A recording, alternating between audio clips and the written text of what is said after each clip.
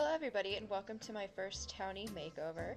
Um, when I first started playing The Sims, I didn't like to give makeovers to my townies because I thought everybody need you know has their own style and is beautiful in their own way and so it was kind of nice to have Sims that kind of like didn't match with my taste and everything else.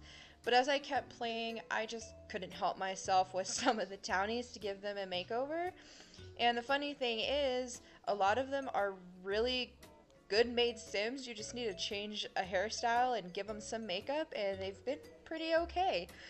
So I've decided to start out with the vampires. Um, the only one that I really had an issue with was um, Lilith. Um, her main problem was just the hairstyle with me and her main outfit, but I decided to go all out with her.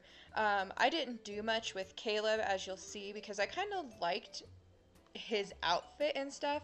I think the only thing I really changed was his dark form and then I think just his hair and he looked good. So didn't do much there. Um, Lilith was the only one that I really gave like the full entire makeover with all of her looks and everything.